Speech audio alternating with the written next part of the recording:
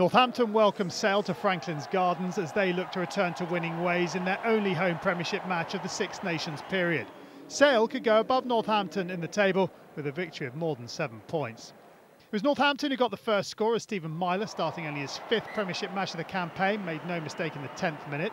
Two minutes later and Sale were level. Nick Macleod, who kicked his side to victory against Worcester last time out, again on target.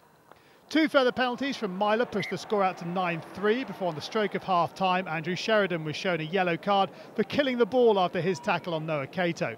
Myler made no mistake with a penalty to make the score 12-3 to Saints at the break.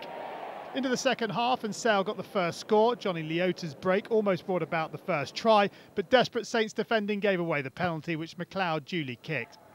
Five minutes later, Myler restored the nine-point advantage with his fifth penalty. Sale then scored the only try of the match. A well-worked move saw Leota release Mark Cueto and the former England winger cross for his 73rd Premiership try in 159 appearances. Macleod missed the extras. After Myler had kicked another three points, Sale picked up a second yellow card as Sam Tuitupu went in high on Vasily Artemyev. Macleod and Myler traded a penalty apiece to make the score 21-14 before Myler was replaced by Ryan Lamb.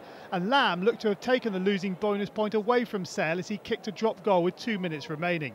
But with the last kick of the game, Macleod kept his nerve to score from distance. Northampton then maintained their playoff quest. Final score Northampton 24, Sale 17.